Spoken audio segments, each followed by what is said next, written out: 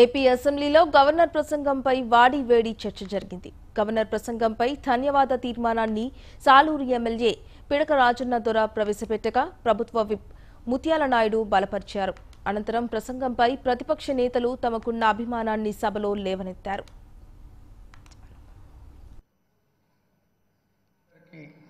ఈ క్రింది విధముగా అభినందన పత్రాన్ని సమర్పింపగోరుతున్నాను. పద్నాలుగు ఆరు రెండు వేల పంతొమ్మిదో తేదీన ఆంధ్రప్రదేశ్ శాసనసభను ఉద్దేశించి గవర్నర్ గారు దయతో చేసిన ప్రసంగానికి గాను పదిహేడవ శాసనసభ మొదటి సమావేశానికి హాజరైన ఆంధ్రప్రదేశ్ శాసనసభ సభ్యులు ఆయన పట్ల ప్రగాఢ కృతజ్ఞత బద్దులై ఉన్నారు. ప్రభుత్వ విప్ బూడు ముత్యాల నాయుడుగా ఈ ప్రతిపాదనను బలపరుస్తూ ఉన్నాను ప్రతిపాదిస్తూ అయితే మేము అనుకున్నాము. ముందుగా అవినీతి రహిత పరిపాలన అవినీతి రహిత సమాజాన్ని అందించాలనేటువంటి లక్ష్యంతో ఈరోజు పారదర్శకత జవాబుదారీతనంతో ఒక్కసారి పదహారు వేల లోటు కోట్ల లోటు బడ్జెట్ అనే ఏపీ అసెంబ్లీలో గవర్నర్ ప్రసంగానికి ధన్యవాదాలు చెప్పి తీర్మానంపై వైసీపీ ఎమ్మెల్యే కాకాని గోవర్ధన్ రెడ్డి మాట్లాడారు. బీసీ ఎస్సీ ఎస్టీ మైనారిటీలకు సీఎం జగన్ కేబినెట్లో స్థానం కల్పించారని తెలిపారు. గత ఐదేళ్ళలో టీడీపీ ప్రభుత్వం అధికారాన్ని దుర్వినియోగం చేసిందని మండిపడ్డారు. ఏపీ మాజీ సీఎం చంద్రబాబు ప్రత్యేక హోదాపై చాలాసార్లు యూజన్లు తీసుకున్నారని కాకాని దుయ్యపట్టారు. దాంట్లో మీ ఇష్టానుసారం రేట్లు పెంచి. మీకు అనుకుంటున్న వాళ్ళకి అంటగట్టి దాని ద్వారా నిధులు మింగాలి ముడుపులు నొక్కాలనేటువంటి ఆలోచన లేదు కాబట్టి. రాష్ట్ర ప్రజలకు సంబంధించి జవాబుదారీతనంగా ఉండాలనేటువంటి ఆలోచన చేస్తున్నాం కాబట్టి. రాష్ట్ర ప్రజలకు సంబంధించి వాచ్మ్యాన్ డ్యూటీ చేయాలనేటువంటి ఆలోచన ఉంది కాబట్టి. ఈరోజు జ్యుడిషియల్ కమిషన్ ఏర్పాటు చేసి జ్యుడిషియల్ కమిషన్ ద్వారా పారదర్శకంగా టెండర్ నిర్వహించాలనేటువంటి ఆలోచన చేసినటువంటి వ్యక్తి ఆంధ్ర రాష్ట్ర చరిత్రలో మొట్టమొదటిగా ఈ రోజునటువంటి ముఖ్యమంత్రి జగన్మోహన్ రెడ్డి గారు అని చెప్పి చెప్పి సందర్భంగా తెలియజేస్తున్నాను. అదేవిధంగా ఈరోజు మీరు చెప్పారు. పోలవరం జీవనాడు అన్నారు. సోమవారం పోలవరం అన్నారు. ఇవన్నీ చెప్పినటువంటి వాళ్ళు ఈరోజు జాతీయ ప్రాజెక్టుగా పోలవరం ప్రకటించిన తర్వాత ఆ పోలవరాన్ని కట్టాల్సినటువంటి బాధ్యత ఈరోజు కేంద్ర ప్రభుత్వానికి అయితే మీరు దాన్ని మీ చేతుల్లోకి తీసుకుని మీకు సంబంధించినటువంటి అక్రమ సంపాదన కోసం అక్రమంగా టెండర్లు ఈరోజు పిలిచి వాటిలో మీరు ముడుపులు స్వీకరించాలనేటువంటి ఆలోచన లక్ష్యంతో దాన్ని మీ చేతిలోకి తీసుకొని ఐదు సంవత్సరాల కాలంలో పూర్తి చేయకుండా ఆ రైతాంగానికి నీటి విడుదల చేయకుండా ఈరోజు రైతులకు సంబంధించినటువంటి వాటి ఆశల మీద నీళ్ళు చల్లినటువంటి పరిస్థితి ఉందా లేదా ఒక్కసారి ఆలోచించాల్సినటువంటి సందర్భం అని చెప్పి చెప్పి సందర్భంగా గుర్తు చేస్తున్నాను. ఈరోజు మీరు ఎందువల్ల విచ్చలవిడిగా ఇష్ట ప్రకారం అంచనాలు పెంచి ఈరోజు మీరు దోచుకునేటువంటి పరిస్థితి ఏర్పడితే ఈరోజు ఇప్పుడు ముప్పటిగా అంచనాలు పెట్టి ప్రజాధనాన్ని దుర్వినియోగం చేసేటువంటి పరిస్థితి ఏర్పడితే ఈరోజు వాటి కోసం ఎక్కడైతే మీరు ఇబ్బడి ముబ్బడిగా మీ స్వార్థ గవర్నర్ ప్రసంగాన్ని టీడీపీ ఎమ్మెల్యే అచ్చెన్నాయుడు తప్పుపట్టారు. గవర్నర్ ప్రసంగంలో రాష్ట్ర సమగ్రాభివృద్ధిపై ప్రతిపాదనలు లేవని వైసీపీ ఎమ్మెల్యేలు ప్రతిపక్షంలో ఉన్నామన్న భ్రమలో మాట్లాడుతున్నారని దుయ్యబట్టారు. ఐదేళ్ళ పాటు సమర్థవంతమైన పాలన అందించామని గుర్తు చేశారు చేస్తున్నాను అధ్యక్ష డోంట్ డిస్టర్బ్ ది మెంబర్ అయితే నేను ఐదోసారి శాసనసభకు ప్రాతినిధ్యం వహిస్తున్నాను. ఎన్నో సందర్భాల్లో గవర్నర్ గారి ప్రసంగం కూడా విన్నాం అధ్యక్ష. గవర్నర్ గారి ప్రసంగం అంటే ఆయన స్వయాన తయారు చేసుకుని ప్రసంగించినటువంటి విషయం కాదని మనందరికి కూడా తెలుసు. గవర్నర్ గారి ప్రసంగం అధికారంలో ఉన్నటువంటి ప్రభుత్వం యొక్క పాలసీ డాక్యుమెంట్ అనేది మనందరికీ తెలిసినటువంటి విషయం. పాలసీ డాక్యుమెంట్ అంటే అందులో ఈ ప్రభుత్వం. కొత్తగా అధికారంలోకి వచ్చిన తర్వాత మొట్టమొదట జరుగుతున్నటువంటి శాసనసభ సమావేశంలో మొదట చదివినటువంటి ప్రసంగం అధ్యక్ష.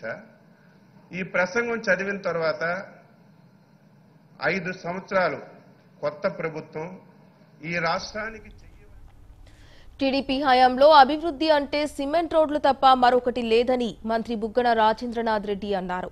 టీడీపీది బ్రహ్మాండమైన పాలన కాబట్టే తమకు నూట యాభై ఒక్క సీట్లు వచ్చాయని ఎద్దేవా చేశారు. గ్రామాల్లో సర్పంచ్లను కాదని జన్మభూమి కమిటీలకు పెత్తనమిచ్చారని బుగ్గన మండిపడ్డారు. ఐదు సంవత్సరాల అవకాశం ఉందండి. ఐదు సంవత్సరాల అవకాశం ఉంది. ఈ పదహారు వేల కోట్ల లోటు బడ్జెట్ అనేది తేల్చిండొచ్చు కదా అధ్యక్ష ఎవరన్నా అడ్డం వచ్చినారా? దాంట్లో నాలుగు సంవత్సరాలు బీజేపీతో పాటు పొత్తులో ఉన్నారు ప్రభుత్వం. అక్కడ నుంచి ఇద్దరు మంత్రులు ఇక్కడ ఉన్నారు ఇక్కడ నుంచి ఇద్దరు మంత్రులు అక్కడ ఉన్నారు. ఎవరన్నా అడ్డం వచ్చినారు అధ్యక్ష పదహారు వేల కోట్లది? అయినా అయినా సరే అనుకుందాం అధ్యక్ష పదహారు వేల కోట్లు. పదహారు వేల కోట్ల లోటు బడ్జెట్ అని ఐదు సంవత్సరాలు పాలన చేసినారే సంవత్సరానికి రెండు లక్షల కోట్లు లేటెస్ట్గా రెండు లక్షల ముప్పై వేల కోట్ల ఓటన్ అకౌంట్ బడ్జెట్ వాళ్ళే ప్రవేశపెట్టినారు అధ్యక్ష. ఒక లక్ష డెబ్బై ఐదు వేల కోట్లు యావరేజ్ తీసుకున్నా ఐదు సంవత్సరాలకి ఎంత అవుతుంది అధ్యక్ష? ఏడు లక్షల డెబ్బై వేలు ఎనిమిది లక్షల కోట్ల బడ్జెట్ ఎనిమిది లక్షల కోట్ల బడ్జెట్లో ఆ పదహారు వేలు అనేది ఎంత శాతంకి వస్తుంది అధ్యక్ష? దాన్ని బేస్ చేసుకొని ఇంతవరకు ఏది రాలేదు ఏమి రాలేదు కాబట్టి మేము బీద బ్రతుకు. ఎనిమిది లక్షల కోట్లలో ఒకవేళ పదహారు లక్షల కోట్లలో ఒక పదివేల కోట్లు వాళ్ళ లెక్క ప్రకారమే అనుకుందాం అధ్యక్ష అట్లా కూడా డిస్కౌంట్ ఇచ్చి.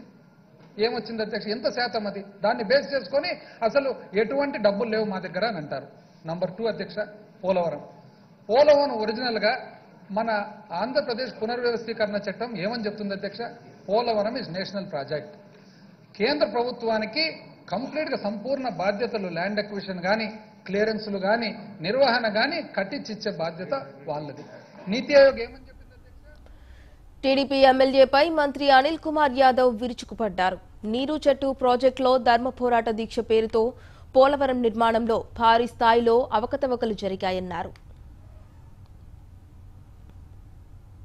ముఖ్యమంత్రి జగన్మోహన్ రెడ్డి గారు ఏదైతే మేనిఫెస్టోలో కానీ ప్రతిలో స్పష్టంగా పోలవరం ఎవరైతే స్టార్ట్ చేసి దాన్ని ముందు ఇనిషియేషన్ తీసుకెళ్ళి ముందుకు తీసుకెళ్ళి దివంగత రాజశేఖర రెడ్డి గారి బిడ్డ ఈ రాష్ట్రానికి పోలవరం కంప్లీట్ చేసే ఘనత ఈ ముఖ్యమంత్రి జగన్మోహన్ రెడ్డి గారి హయాంలోనే అవుతుందని మేము తెలియజేస్తున్నాం అధ్యక్ష. అదే కాకుండా ఉండన్నా ఐదు సంవత్సరాలు ఒక ప్రాజెక్ట్ కూడా పూర్తి చేయకుండా మాట్లాడేదే. సార్. ఒకటి సార్ ఒకటే ఆయన చెప్తున్నాడు కాబట్టి. అధ్యక్ష పోలవరంలో వాళ్ళు ఎంత సూపర్గా కడుతున్నారంటే construction chief engineer quality control. ఒకటే అధ్యక్ష దొంగ ఆయనే పోలీసు ఆయనే. ఆ విధంగా అంటే పొద్దున కన్స్ట్రక్షన్ చేస్తాడంట రాత్రి దొంగతనం చేస్తాడంట. ఆ విధమైన అధికారులను పెట్టి పోలవరం నడిపిన ఘన చరిత్ర అధ్యక్ష వాళ్ళది. ఈ దేశంలోనే రివర్స్ టెండరింగ్తో జ్యుడిషియల్ సిస్టమ్ని టెండరింగ్లో సిస్టమ్ తీసుకొచ్చి ట్రాన్స్పరెన్సీగా తీసుకొస్తున్న ఏకైక ముఖ్యమంత్రి వైఎస్ జగన్మోహన్ రెడ్డి గారు అధ్యక్ష.